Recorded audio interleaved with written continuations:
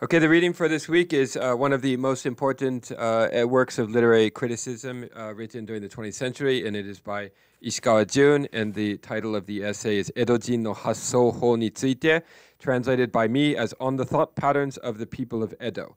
And it was first published at the height of the Second World War in the March 1943 issue of the journal Shiso. And in this video, I will be reading a brief introduction to the work, along with the 17 questions that are on your study guide uh, that sort of force you to delve deeply into the work and to think about what's going on in this essay. And then I will turn the microphone over to my assistant, Nicole, and she will do a mellifluous, as always, reading of my translation of the essay, which is only maybe eight or nine pages in the PDF file that you have, but it is extremely dense. And there are copious footnotes that I have included in my translation. We will not be reading those. Those will be included, of course, in my forthcoming tome, which is called Writing Beyond Realism Ishikawa's Case Against Modern Japanese Literature. And we see that sort of fundamental uh, critique of modern Japanese literature in this essay as well. And I discuss this essay in chapter 7 of my uh, forthcoming tome. All right, so published in 1943 at the height of the war. Now it is widely considered a classic of modern Japanese literary criticism. The essay was recently include, included in the second volume of Chiba Shunji, my former advisor at Waseda University, Chiba Shunji and Tsubouchi Yuzo's influential anthology of literary criticism called Nihon Kindai Bungaku Hyoron Sen, the Showa Hen an anthology of modern Japanese literary criticism, Showa period, which came out in 2004. It's included in that very important work, which uh, sort of sparked uh, renewed interest in the essay. As I argue, and that was my first um, sort of introduction to this essay as well, uh, coming across it at Waseda University when I was taking Shu uh, Chiba Sensei's class. As I argue in chapter 7 of my tome, this essay, despite its title, an explicit subject, namely the thought patterns of the people of Edo, despite that, it is much more than an, an, exquisite treatise on the haikai literature of the Edo period, as critic Noguchi Takehiko described it. More importantly, it is an incisive, if oblique, attack on what Ishikawa regarded as the founding notion and dominant paradigm of modern Japanese literature, namely Shajitsu Shugi. Underline this word Shajitsu Shugi. I talk about it all the time. It's sort of the main subject of my tome, Shajitsu Shugi uh, which is translated as the system of copying reality, which is kind of the fundamental premise of most of modern Japanese literature. While the essay is explicit, so the target of this, this essay is this notion of shajitsu shugi, which became the sort of fundamental uh, notion of modern Japanese literature. While the essay's explicit subject is the dominant thought patterns, or hassouho, as he calls them, or literary hermeneutic paradigm of the Edo period, that's the explicit subject. The implicit subject of this essay is the dominant thought patterns or literary hermeneutic paradigm of modernity, right? So uh, we want to separate the content of the explicit content of the work and the implicit content of modernity by invoking the largely forgotten literary techniques of the Edo period namely mitate. These are very key words that appear in the essay. Underline them now so you uh, keep your eyes open for them as they appear in the, in the essay. Mitate, or analog parody, as I translate that as. Zokuka, or popularization or vernacularization.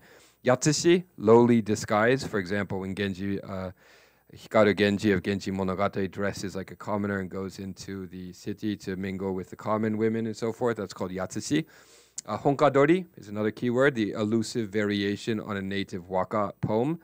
Honshidori, which is uh, a word that uh, uh, Ishikawa coins in this essay, kind of play on the word honkadori, except for Chinese poems. So it's an elusive variation in Sinitic poems, honshidori.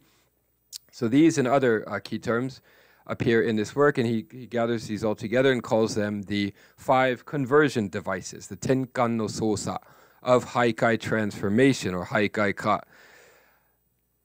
So by doing all of this, by invoking these largely forgotten techniques, Ishikawa sought to show his readers that alternatives to mimetic realism or, or existed in the past and could still be mobilized in the creation of new modes of writing. Although Ishikawa does not idealize or romanticize the Edo period and the Edo, Edoites, as many of his contemporaries did, think, for example, of Tanizaki uh, in his oh, his debut work, uh, Shisei, for example, or Nagai Kafu's works that uh, romanticize or idealize the Edo period. So uh, does not do that. He does, however, depict its literary culture in thoroughly positive terms, implicitly contrasting it with the disenchanted modern world that has lost the ability to see, to read, and to understand the world analogically. So, this analogical imagination, as I call it, is a hallmark of the Edo period literature. As we read the essay, we should keep in mind that his description of this past tradition is, in fact, a coded critique of the present. Okay, that's the introductory blurb. Now, on to the uh, 17 questions on your study guide. And haikai, I just use that word haikai. In order to understand this essay, you will need to know what haikai is. So we will discuss this in class. For your homework, look up the uh, haikai bungaku of the Edo period and figure out what haikai is referring to. Study guide. Number one.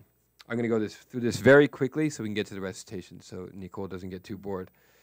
What significance does Ishikawa see in the popular Edo legend, the tale of the maid servant Otake, Hijo Otake no Setsu? What is the significance of this uh, legend for him? What are the ur, texts or precursor texts for this legend and the accompanying Senryu poem that appears at the very opening of the essay? What does Ishikawa mean when he says it's the novel idea of transforming some lowly Sakuma housemaid into the Dainichi Nyorai would never would have occurred to anyone had the no play Eguchi and the popular tales about Saigyo from the uh, 12th century, the great monk poet, uh, and courtesan Eguchi not preceded it. Okay, that's question number one. Number two, Ishikawa identifies in this essay, as I mentioned in the introductory blurb, five transformative devices, or tenkan no sosa, as he calls them, that make up the process of haikai-ka, or haikaiification. Haikaiification, as I translate that. A process he sees as running through all art forms of the Edo period, not just literature, but visual arts as well. They're based on this idea of haikai-ka, of taking from something from lofty culture, from the canonical past, from ancient antiquity, from Tang Dynasty poetry and so forth, and lowering it to the uh, level of the commoner so that it becomes part of the popular culture of the age. All right, so he identifies in this essay five transformative devices that he sees running through all forms of art of the Edo period. The first device he identifies is mitate. Mitate is a very important word in uh, Edo period visual art, for example. Explain this concept or this technique. How does it function in the Otake legend? How does this technique connect the Edo era maid Otake to the famed prostitute of antiquity, Lady Eguchi or, or courtesan Eguchi, Eguchi no Kimi, and also the young wandering rake who solicits sexual services from Otake to that old itinerant monk Saigyo. So the young rake who goes looking for Eguchi or goes looking for otake is compared or sort of corresponds to the old itinerant monk Saigyo. So how is this um, technique or um, conceit of mitate working in this work? Number three, Ishikawa believes that modern man has lost the ability to understand and appreciate this tale about the maidservant otake and other haikai narratives. Explain his reasons for thinking this. So why does he think that modernity, modern um, Japanese specifically, have lost this ability to make connections with the uh, distant past. Number four, the second transformative device, or tenkan no sosa, that I, Ishikawa identifies is zokuka, which I translate as secularization, vulgarization. Explain this concept or technique. How does zokuka operate in the otake legend? What does Ishikawa mean when he says the Edoites were much more adept at vulgarizing or secularizing zokuka in ideas than they were at excogitating them. Number five, the third transformative device Ishikawa discusses is yatsushi, or lowly disguise. Explain this notion or technique.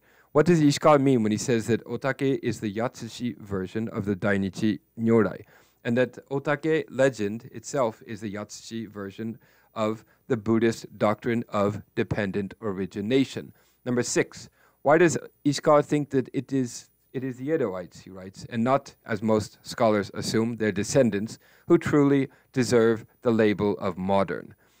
Discuss the so called modern qualities that Ishikawa sees in the Edoites, but finds lacking in his own time. So he kind of identifies an alternative modernity that could have taken place but didn't in this uh, sort of analogical imagination of the early modern Japanese.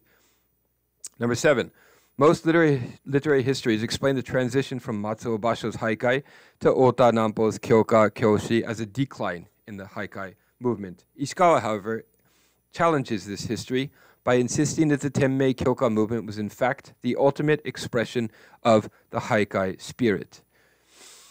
Hai is the word for haikai spirit, the hai Why does he think this? Okay, so what does he find in the poetry, the kyoka and the kyoshi of Nampo and other writers of the Tenmei period in the 1780s?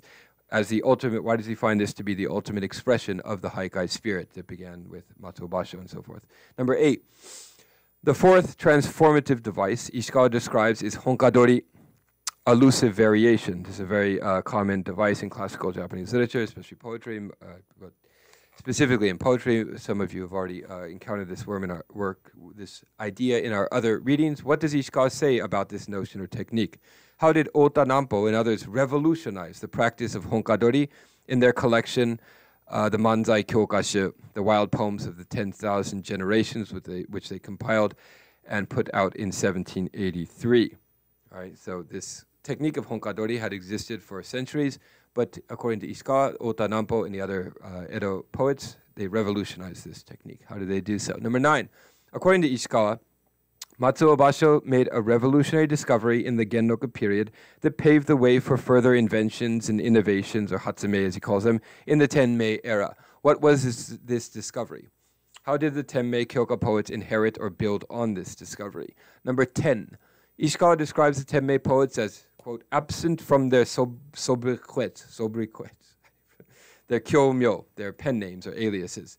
In other words, he continues, they were anonymous personas, writing Yomibito Shirazu, or anonymous poems. The haikai linked verse of Basho, he continues, made us forget the presence of the author the moment of its formation. Yet the pi- compilers of wild poems took this one step further by erecting a whole world from this renunciation of authorial name. End quote. Discuss the significance of this passage. How is this notion of erecting a whole world from the renunciation of authorial name radically different from the credo of most modern writers and modern poets, where the chief purpose of um, writing poetry is self expression, of, of, showing your inner self, a true self, and so forth. According to Ishikawa, the uh, Edo poets from Matsuo Basho on through Nampo, uh, Ota Nampo and the Tenmei poets uh, had a very different idea of what it means to write poetry and to create art. Explain these differences is that question. Number 11. Ishikawa asserts that all modern hermeneutic modes completely miss the point of haikai. What are his reasons for thinking this? Why does Ishikawa regard mimetic modes, modes of reading and writing as inadequate for understanding and appreciating the haikai imagination? To borrow Haruo Shirane's phrase. What alternative mode of reading is required to understand the haikai imagination? Number 12. What classical anthology served as the basis or the ur-text for Ota Nampo's Wild Poems of 10,000 Generations. Why was this particular anthology used? So, what did they find in this very important uh, classical anthology of poetry?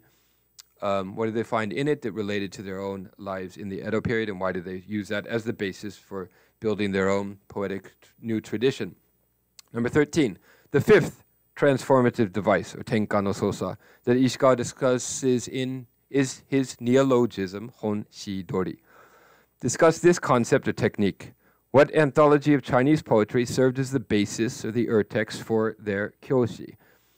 Wild Chinese Sinitic poems, wild Sinitic, Sinitic poems. Explain the relation between this anthology and its genkai. Is another important word that appears in the essay. Colloquial uh, explanations, or it's more like a, a vernacular rendition of the earlier Chinese poem. It's, this is called Genkai. How does Ota Nampo parody Wang Changling's Tang Dynasty poem, Parting with Xin Jian at Hibiscus Inn? What negotiations, as Ishikawa puts it, kosho, another key term in this essay, what negotiations occur between poet-reader, past and present, in this poem? Number 14.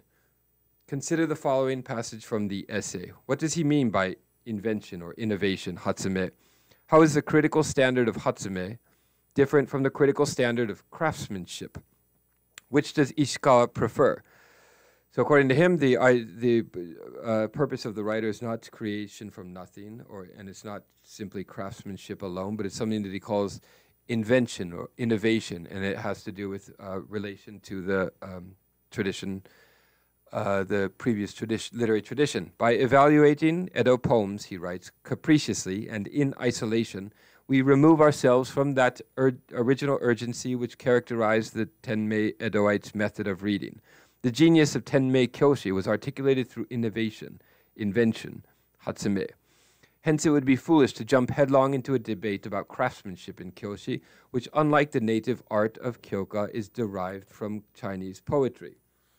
So his basic point here is that you can't just have uh, Kyoshi uh, from the 1780s in front of you and analyze that poem in isolation from the entire tradition. It can only be in, understood in the context of the Tang Dynasty poems, uh, the tradition, how it's interacting with that tradition, and so forth. So they must be read in a broader cultural context. They can't be just uh, analyzed, uh, analyzed uh, using uh, methods of close reading, for example, that we see with the uh, new critics of the 20th century. That new critical method of close reading does not work in the case of these Kyoshi poems and Kyoka poems of the Edo period is his point there. Number 15, Ishikawa cites an episode from Santo Kyoden Sharebon. Sharebon is a very important Gesaku genre uh, from the Edo period. We'll talk about the Sharebon in uh, books of wit. It's sometimes translated as kind of manuals for men who are both erudite and have this knowledge of classical literature, but also enjoy uh, prostitutes and going to hang out in the uh, demi-monde, the Yukaku district, and so forth. Um, this, that genre is called the Sharebon. Santo Kyoden is the, one of the most famous uh, practitioners of the Sharebon.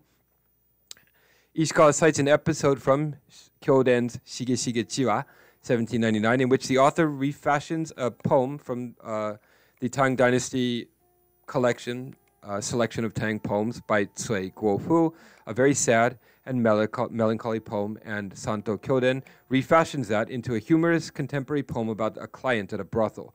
Describe the similarities and differences between the two poems. How does the new version reflect the Genkai, or the colloquial uh, renditions, of this selection of Tang, Tang, Tang poems, which was popular at the time? Number 16, Haikai-ka, as I mentioned above, uh, Haikaization, is built on the interplay between shiko, a twist, innovation, device, and sekai. These are two very, very important terms in the context of all Edo period culture. Shiko and Sekai underline these. We'll discuss them in class.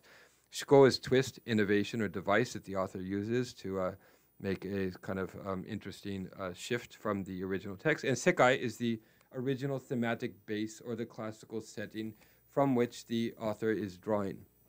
This interplay or reframe, reframing between the shiko and the sekai is only effective if the audience or the readers are familiar with the original sekai the original classical setting, the thematic base. How does Ishikawa describe the importance of cultural literacy and familiarity in the medium of haikai? What has happened to this cultural literacy in the modern period? And I'll give you a hint, it basically disappears, which is one of Ishikawa's main complaints. So the world disappears. The sekai, this uh, classical setting or thematic base that had been the sort of ground for the Japanese literary and cultural imagination for centuries, uh, more or less disappears in the modern period. And um, Ishikawa laments that disappearance. We have this de-worlding of the world in modernity, which of course is something that Heidegger, for example, writes about. It's not something uh, that happens only in Japan. It happens everywhere, uh, Europe included, in modernity. And the final question, although the explicit subject of this essay is the thought patterns of the people of Edo, its implicit subject is the thought patterns of the modern age. Explain how this essay is a disguised critique of the dominant aesthetic and hermeneutical modes of modernity. How does the framework of haikaika, haikaization, serve for Ishikawa as one possible alternative to these dominant modes? All right. And we can, of course, consider our last question in the context of Ishikawa's fiction of the period of the 1930s and 40s and so forth, and see how he uh, sort of develops this idea that he theorizes in this essay in his own fiction and kind of uses it as a mode or a paradigm for uh, creating new works of fiction that kind of interact with the tradition. All right, those are all the questions for me. 17 questions, a lot to go over. We'll probably spend three months on this essay because it's so dense and there's so much to do. And now I will turn the microphone over to Nicole and she will read the essay, my translation of the essay. Okay, here you go. Sakuma's serving girl, gold leafed, curly hair all a frizzle.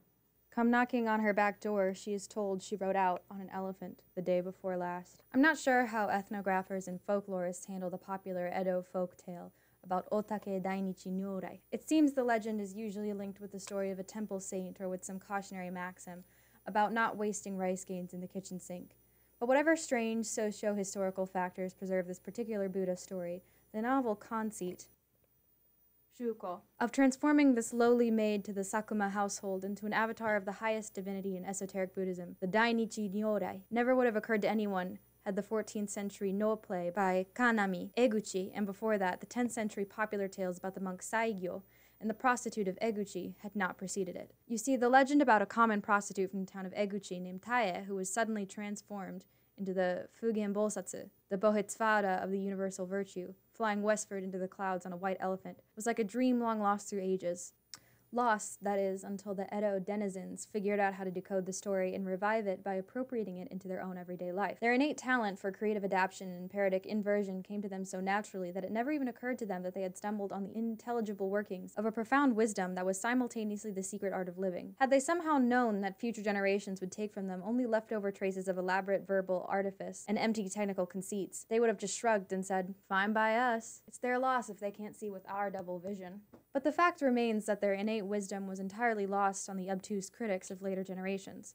Sadly, our literary establishment has never regarded the popular legend of Otake Dainichi Nyorai as anything more than raw material for senryu, comic, haiku, doggerel, and so many a later critic has made display of his own homespun brand of critical acumen by doing his best to denigrate it. We shouldn't, of course, take such judgments so seriously. In the Senryu poem quoted in the epigraph, one finds the phrase, gold-leafed curly hair all a frizzle.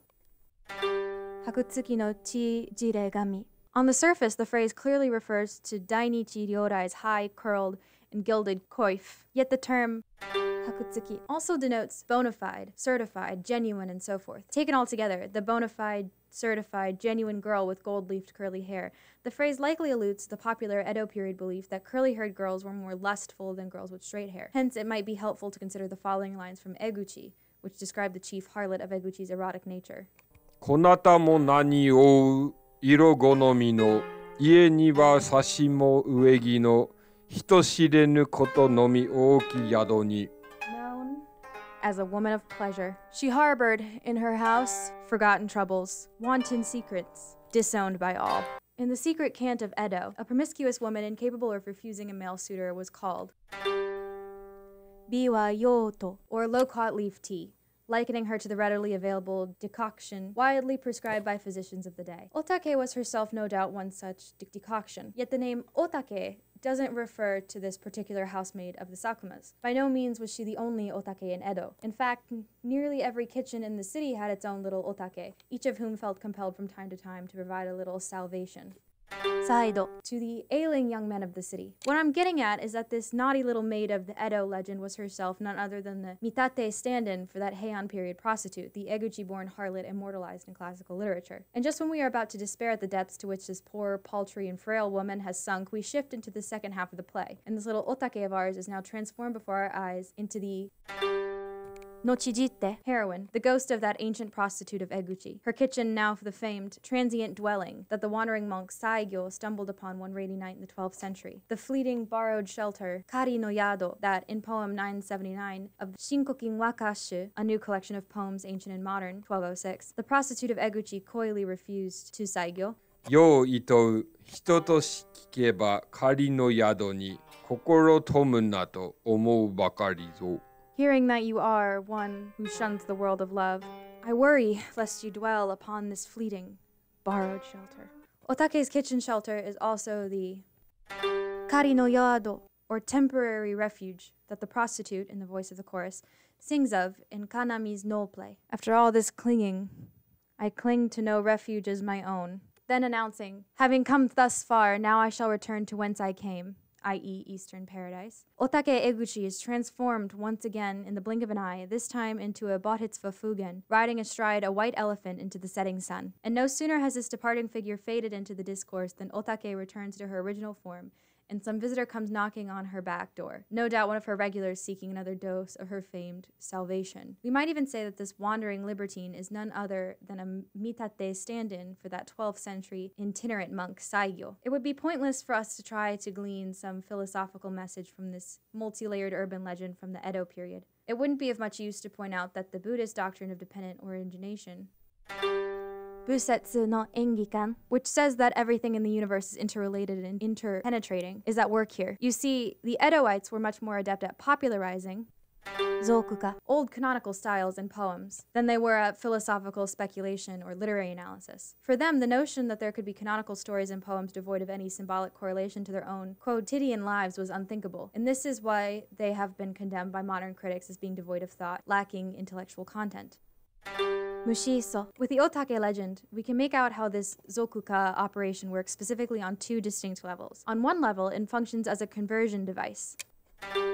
Tenkan no Shikake, that transforms the historical prostitute of Eguchi into the historical contemporary figure of Otake, who is the former's quotidian symbol. At another level, it functions as a kind of Buddhist mandala painting, or shape-shifting visual representation that shows the image of Otake when our eyes are open and the Dainichi Nyorai when our eyes are closed. Put simply, through the tableau, the humble scullion called Otake is transformed to the universally symbolic figure of the Dainichi Nyorai herself, albeit in Yatsushi disguise. It follows then that the Otake as Dainichi Nyorai legend as a whole is a disguised Yatsushi version of the Buddhist doctrine of dependent origination. And the moment the Edo poets applied this working hypothesis to all aspects of their life, it took firm root and started to grow, having already been authenticated long ago by the old anecdotal tale of the prostitute of Eguchi. While the busybody scholar will no doubt scrawl down the true story of maid Otake, and the greedy montback will organize an installation show to peddle Otake's holy relics in some disused shed. The true meaning of this operation, called Zokuka, or making common in the context of Edo culture,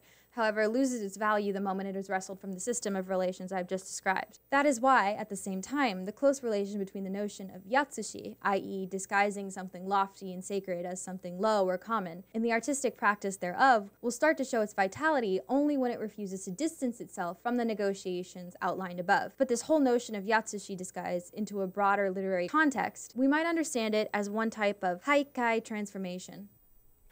Haikai ka it is precisely the various techniques and methods of haikai transformation that run through all forms of Edo life. Laborers of spirit, the Edoites forged a culture that would come to defy all subsequent systems of critical discussion. When the myopic modern critics endeavor to account for the whole of Edo culture by using some newfangled, ready-made literary theory, it easily evades their grasp, for it is the Edoites, you see, and not, as most modern scholars have assumed, their descendants, who deserve to be labeled modern. Whether you approach the matter from the perspective of an expert historiographer engaging in textual research, or sneak your way in as a dabbling dilettante, you are bound to lose your way inside their labyrinth. The fleeting shadow of their literature you see is simply too swift for the rummaging scholar to apprehend. Their sensibilities were far too lofty for the fashionable, half-drunk writers of later ages. It may be helpful to formulate some tenuous hypothesis to clarify the basic of their eccentric nature, though at this point we must be ready to admit that any and all such methodological preconceptions will only lead us astray, forcing us to reassess their supposed usefulness. So let us put aside, for now, questions of spirit and postpone inquiries into questions of intellectual or ideological contents. Shiso, so that we may focus instead on the specific creative techniques that have proved so evasive. The lowbrow comic form of haiku known as senryu, senryu despite the clumsiness of its craft, shares some features with other popular forms of haikai. Yet these features have become so degraded after mixing with the lowland dust that the form can no longer be salvaged into the net of literature. The conventional wisdom of later generations indoctrinated us into believing that the only school within the various haikai movements of the Edo period with any truly free spirit and soul transferring transcendental value was the so-called shofu, style of Matsuo Basho's high orthodox school of haikai and its extension. I should note that extension, by the way, is always a euphemism for decline. This sterile wisdom that held the haikai poetry of Edo, in particularly the movement known as kyoka, or madcap verse, belonged on the same low level as senryu drek. But this, of course, to confuse the but this is, of course, to confuse the wheat with the chaff. The strange evolutionary logic of Haikai's transformation course did not run in a straight line along the 53 stations of the Tokaido Road from Basho's end to Yosa Buson's Kyoto. Rather, its movement was sparked in the Edo streets, by the ordinary denizens who inherited this haikai tradition and carried it to even greater heights through the formal literary innovations of kyoka poetry in the Tenmei era. However else we might define it, the kyoka of the Tenmei era was totally unlike the kyoka of other eras in terms of the actual literary products. Those who hold the common view that the history of kyoka began in the Kansai region of Osaka and Kyoto in the early Edo period and then later relocated to the Edo metropolis tend to start with genealogy, making all sorts of tendious distinctions between the playful Gishoka, comic poems of the Manyoshu, The 10,000 Leaves, 756, and the Haikai poems of the Kokin Wakashu, a collection of poems, ancient and modern, circa 905, between concepts like the serious and the non-serious varieties of Renga linked poetry, as well as the relation between the Kakinomoto Hitomaro schools of Waka poets and the much later Kurinomoto school of Kyoka poets, and so on and so forth. Then, after much hang-wringing over this imagined relationship between Tenmei poets and those supposed ancestors, they finally conclude by pulling out something by say, the moon mad monk Gyogetsubo, whom they regard as the founder of Kyoka poetry. But even supposing this standard family tree explanation enhances our understanding of the origins and significance of Kyoka poetry in general, it still tells us nothing about the singular nature of the Haikai literary movement of the Tenmei era, a movement that, in fact, made a radical break in terms of technique with all the methods of pre-existing coteries in the early Edo period. Kyoka poetry often makes use of the well-known technique called honkadori, or elusive variation to a classical model. Yet, for some reason, very few, if any, of the Kyoka poems that simply employ honkadori are distinguished. Here's one example from Ota Nampo's anthology Manzai Kyokashu, Mad Poems of 10,000 Generations, written by Yamate no Shirohito, which is no exception. 柏餅奈良酒屋この手に持ちし柏餅裏表よりさすりて俗 Rice cake wrapped in oat leaf. On Narazaka slope, I finger her moist rice cake wrapped in oak leaf. In and out before partaking with relish. This technique of ribald allusion to an older canonical waka was by no means an invention of the Tenmei era. In fact, in the same Mad Poems of 10,000 Generations, hereafter Mad Poems, we found this one by Yu Choro, the so called father of modern Kyoka, written over two centuries earlier in the 16th century. 偽りのあるよなりけりかんなずき貧乏神は身をも離れぬ。But this is a world filled with lies and deceit. It's the Kannazuki month, but still, the god of poverty won't leave me alone. Yuchoro's poem is obviously an elusive variation on the famous love poem in the Kokin Wakashu, hereafter Kokinshu, poem 712. 偽りの泣きよなりせばいかばかり 人のことの葉嬉しからまし If only this were a world without deceit, how pleasant would it be to listen to your words? A Honkadori poem renders into comic haikai and earlier canonical Japanese waka. This particular method of haikai transformation existed well before the Tenmei era. In fact, there were even private collections of kyoka poetry being put out well before the Tenmei era. But where does one look to find a kyoka anthology that is in itself a honkadori, vis-a-vis a haikai transformation, haikaika, of not just a few lines, but rather the anthology in its entirety? In other words, where can one find an anthology of kyoka poetry that corresponds both tonally and stylistically to an entire canonical anthology and is not simply the result of a little superficial tinkering. The fact is, there isn't a single one, or at least not until the Mad Poems appeared in the Tenmei era. To what canonical anthology, then, does Nampo's Mad Poems correspond both in terms of poetic tone and poetic style? I should probably cite, as a good empirical scholar would, some exemplary works by the three great Kyoka poets of Tenmei, Otanampo, Akera Kanko, and Karakoromo Kishu, in order to show you precisely how their poems relate to the said canonical anthology, but I haven't the time nor space for that here. Thus, I am obliged to abridge my testimony and hasten to my assertion, namely that the imperial anthology to which Nampo's mad poems correspond is none other than the Kokinshu, and that mad poems is none other than a haikaization. Hence, it can be said that Tenmei Kyoka was the very first movement in the entire history of Japanese poetry, and not just in the history of Kyoka, that at its core constituted a major movement that sought to resuscitate and transform the very spirit of the Kokinshu.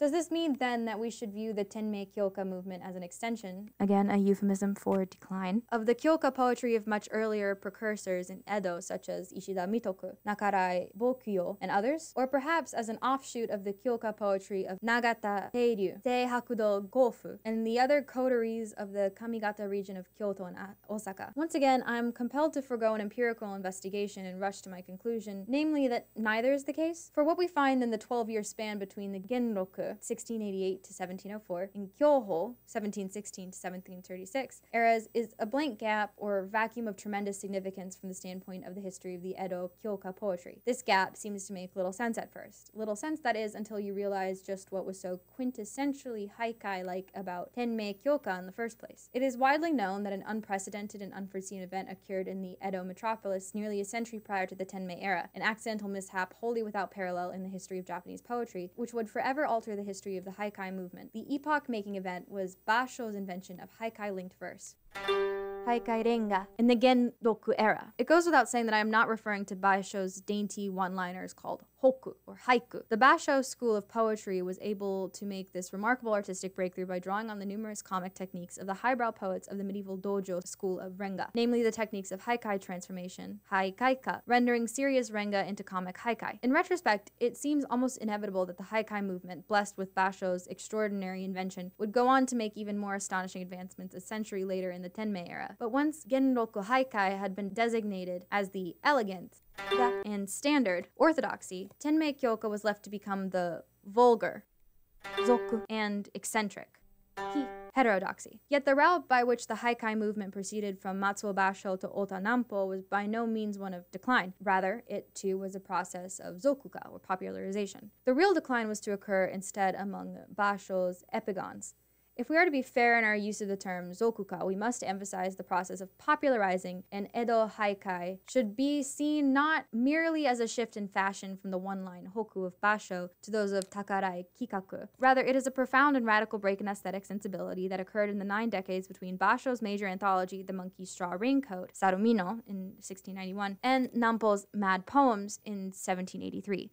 This drastic shift in poetic sensibility reflects precisely the inexorable logic of haikai. Just as the Kyoka poetry of Tenmei differed in sensibility from that of all previous eras, so too did the Tenmei poets' attitudes towards their own authorial personae differ radically from those of their predecessors. Every Kyoka poet has his own Kyomei, or Kyoka alias. This is true not only of Tenmei Kyoka poets, but also of all Kyoka poets. What was entirely new about the Tenmei poets, however, was that for the first time in Kyoka history, we saw a complete transformation in the meaning of those comic aliases, or Kyomei. Previously, a mad Kyoka poet's mad alias differed little from the elegant pen name of the typical bunjin, literati, or the haikai pen name of the typical haikai poet, in the sense that each pen name comprised a fixed public persona. Yume Jinkaku, a readily recognizable celebrity identity. The poets of Tenmei, by contrast, had no such fixed identities or personalities, no intrinsic names, no true selves. In fact, they themselves were absent from their multiple aliases, such each invented for a different occasion. They were non personas. Mume Jinkaku, devoid of any fixed persona or identity. In other words, the Tenmei poets were Yomibito Shirazu, or poems without identifiable authors. If the previous haikai linked verse of Matsuo Basho had made us forget the presence of the author at the moment of its conception, the deranged compilers of mad poems took this logic even one step further by pri- privileging self concealment over self expression, and thereby constructing a whole universe upon the renunciation of authorial name upon the renunciation of fixed essential identity. When it's a poem's mad stage name, his kyomei, rather than the poet himself, playing tricks on you, the reader, you're left only to clutch vainly at mere shadows, as the poet himself is nowhere to be found. In order to drive home this simple point, I would have to write a series of biographical sketches explaining the myriad complexities and contradictions in the lives of these Tenmei poets. I would have to explain, for instance, how the position of Otanampo vis-a-vis Tenmei Kyoka corresponds to that of Matsuo Basho vis-a-vis Genroku Haikai, and how Nampo's position as compiler of the Mad Poems anthology corresponds to Ki no Tsurayuki's position as compiler of the Kokinshu Imperial Anthology, and so forth. But it goes beyond drawing biographies and parallels. The self actualizing phenomenon that we call otanampo or shokusan was in itself a sort of haikaization, haikaika, of the two previous literary phenomenon called matsubasho and Ki no Tsurayuki. From the Meiji period on, the typical reader knew only how to bite off one or two famous single line hokku from the more well known haikai sequences of the now distant basho and read these as the direct and isolated expressions of the poet himself a rather base way of reading literature, if you ask me, which we seem to have imported from those hirsute Westerners who were never much interested in anything beyond the author and his work. What gave rise to this attitude? It's as though they needed proof of a divine creator to be certain that the world exists. When viewed through such an author centric lens, the so called mad literature, kyobungaku, of the Tenmei era becomes gibberish. Our eyes fail to see what is really going on in the works. The fact of the matter is that Tenmei Kyoka was not the work of individual poets. It was a collective movement. And poets were not individual personalities, they were pure fabrications or thought experiments, postulated beings rather than fixed selves. When we peek inside their aliases to see what's there, we find only an empty shell. And the fact that generations of scholars have consistently failed to grasp this shows just how successful these mad Tenmei poets were in beguiling us. I can almost see them now rolling around in their graves, reveling in the predicament they have put us in. A brief anecdote. In the early years of the Bunka era, from 1804 to 1818,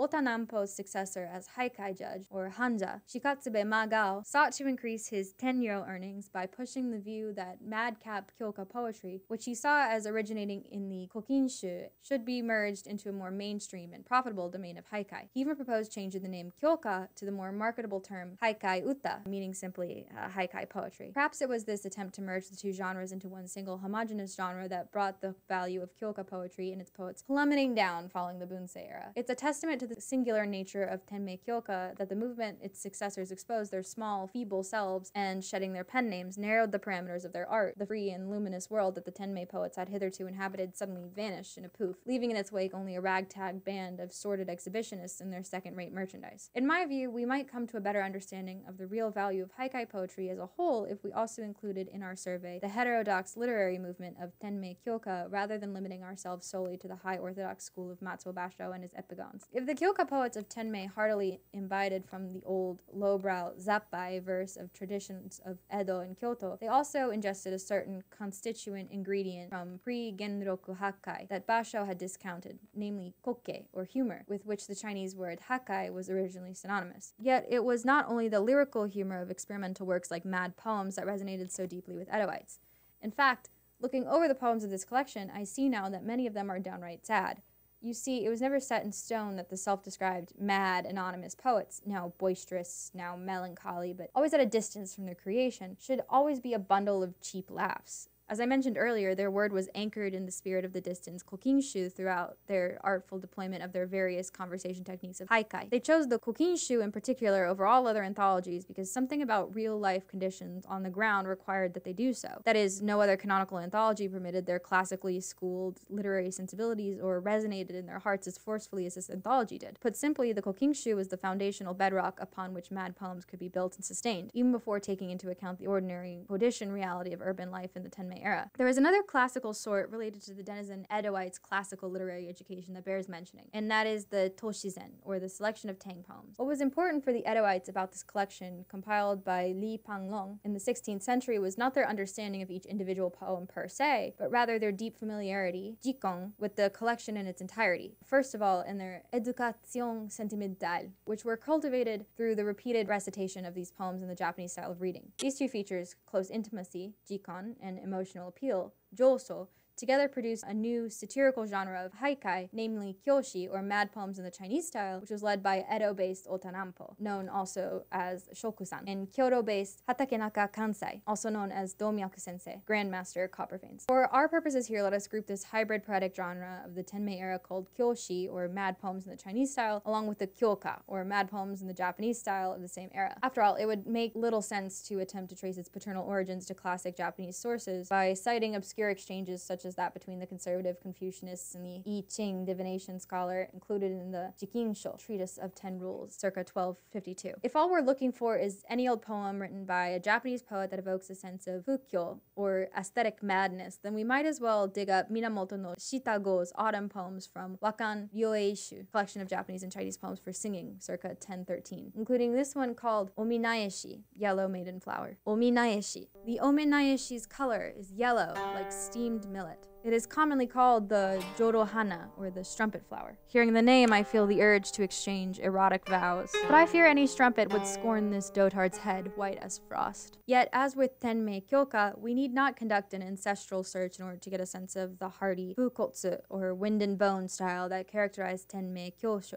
Kyoshi. This is because, in terms of family tree, Tenmei Kyoshi only bears only an accidental, superficial resemblance to later Kyoshi written between Bunsei and Meiji. Hence, I see no need for further explanation. This wind and bone style that characterizes Tenmei Kyoshi can also be seen in the Genkai, or vernacular renditions of the selection of Tang poems. In fact, these rugged retellings were more than just simple yomikudashi glosses of classical Chinese poems intended to help average readers make sense of the difficult poems. Rather, they themselves were a kind of hybrid translations that enacted parodic trans reversals of the original Tang poems. For example, here's one such Genkai in the form of a kyoshi that satirically reworks of a famous poem from the Tang dynasty. The kyoshi is by Ota Nampo, titled Letter to the Lovely Hanaogi of the Gomeiro Ogiya House. Letter to the Lovely Hanaogi of the Gomeiro Ogiya House. Led by the famed Hanaogi to her scented bedchamber, on the fifth day I said goodbye near the great gate. If, in her quarters, she asks when we will meet again, simply answer, my smitten heart in this jaded verse.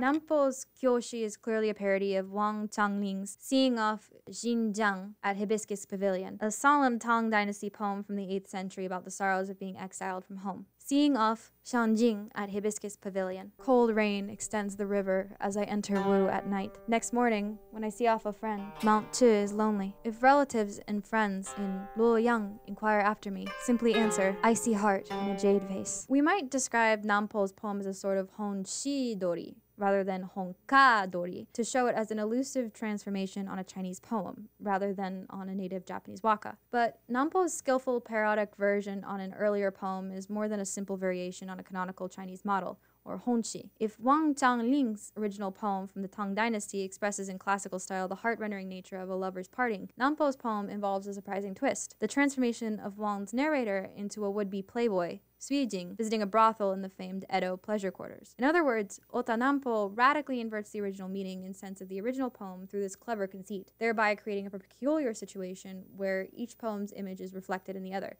like two uncanny mirrors facing one another. Delighted by this unexpected shift in poetic intention and phrasing, Nampo's readers would have been moved to chills as they laughed outwardly at his clever parody while crying inwardly Uh, Wang Changling's original earnest expression of the pangs of love. Yet the moment Nampo's poem is removed from this context, i.e., its relation to the original Chinese poem, the art of appreciating Tenmei Kyoshi is bound to crumble. If we assume that the only poets fit to play in the world of comic poetry are those who possess the keen determination and proud spirit of a samurai, then we would weigh heavily on their hearts and minds. But if we recognize that it's not the person, but the elusive shadow of the invisible author that at some point furtively steals upon the heart of the reader with a chilling effect, then we can see that this is more than just a clever figure of speech. Indeed, there were quite a few madcap Kyoshi poets who showed considerable craft, some nearly surpassing or overshadowing even the great Shokusan himself. The artistic gifts of Kanwatei Onitake, aka Hanka Sanjin, for instance, have been widely praised, and the wondrous, sublime quality called myo that suffuses his selected poems has received much acclaim. The 11th theme of the play, Chushingura, the treasury of loyal retainers, too, is regarded in the world of Japanese theater as a dramatic climax that reveals the general lineaments of Confucianism and its starkly austere way of moral learning. Yet not even these two examples can match Domyaku sensei's Hijoko, the Housemaid's Ballad, 1769, and so one must guard against admiring them excessively. In short, what I am trying to suggest is that by evaluating the poetry of the Edo period in isolation and only in terms of the final product, we remove ourselves from that original urgency and double vision that characterized the Tenmei Edoites' way of seeing the world. Like Tenmei Kyoka,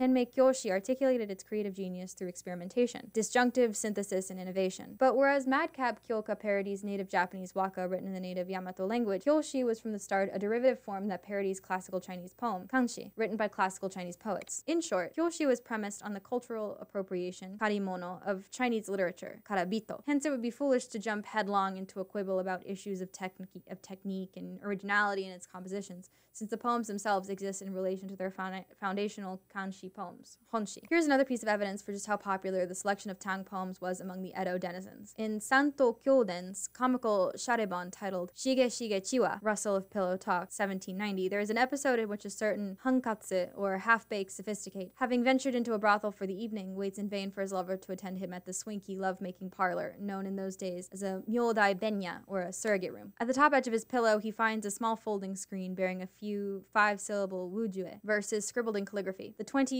squarely drawn Chinese characters read, The grass at the ever-faithful palace, like her sorrow, has grown thick over the years, and now covers the elegant boot prints left by her former lover, who no more mounts the jeweled steps to her bedchamber. Wriggling his nose as if he knows the poem, Kyoden's half-su hankatsu hero mutters these lines to himself, making all kinds of mistakes, unable to make out most of the characters. Here's how he reads, for example, the third line, tenku, and the fourth line, keku, of the quatrain. Now, uh, traces in the mm, tiptoes up the steps, uh, not calling on the servant. We might view his gross misreadings of the poem as an extreme example or parody of the kind of vernacular glosses we see in the Genkai poems I mentioned earlier. By satirizing selection of Tang poems in this scene, Kyoden clearly aimed to provoke laughter in his readers. But this succeeds only if his Sharebon readers possess the requisite knowledge needed to get the joke. In other words, Kyoden must have assumed that the Sharebon readers of the day would know that these 20 squarely drawn Chinese characters were taken straight from Sui Gofu's 8th century poem, Chanqing Sao, The Grass at the Ever Faithful Palace. Moreover, these readers, having learned the legend of Emperor Ten of Han and his consort Ban Jie at a young age, would have been struck with admiration at Kyoden's novel concept of superimposing the rejected widow of the ancient Han court over his spurned hero and amazed at the artful skill with which he appropriated the two into the epigraph. We can be sure that a writer as shrewd as Kyoden never would have risked embarrassing his readers with these 20 squarely drawn characters unless he was certain that they would get the reference. Now I'm rambling on about the Sharebon and its preferred topos, the famed pleasure districts of Edo. But to be honest, I've actually been furtively mulling over something else, roving further away from the Kyoka poetry of the Tenmei era and from the comical sharebon of the Santo Kyoden towards the subject of ninjobon, that late Edo genre of sentimental fiction that survived into the modern age. This subject is also related to the idea of the pleasure quarters and commercial of that ultimate invention of the Edo imagination. It is precisely followed by this thread, which led us from the popular urban legend of the Otake Dainichi Nyorai to this singular notion of the pleasure quarters, that we can begin to see how the Edoites' way of thinking developed. But more on this some other day. Okay, Nicole, thank you for the wonderful reading of a very, very difficult text. And as I mentioned at the beginning, the most important work of literary criticism of the 20th century, in my view. And we will discuss, there's a lot to unpack there. It's uh, A lot of it is unclear. And uh, just imagine how much more difficult it is in the original Japanese. Hopefully, my translation is a bit uh, easier to read, obviously, for natives, but for even for Japanese readers as well. Um, we will discuss the details of the work in class. I will see you all then. Thank you, Nicole, for the wonderful reading. Goodbye. You can edit out my oh right there. You can edit out my oh right there. Part of the uh, sort of um, sort of たえっ、となんだっけこれ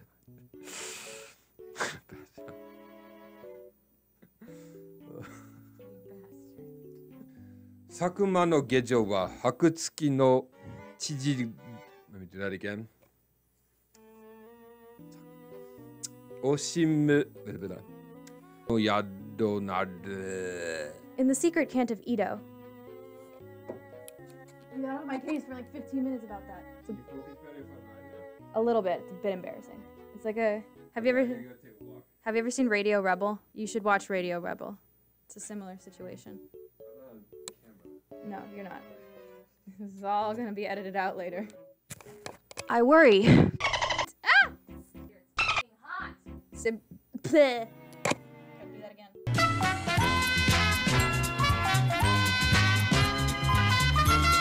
When it's a poem's mad stage name, Kyomei, rather than the poet himself. Wait, I already I just read that one. Edo Den. In the middle of what I'm reading.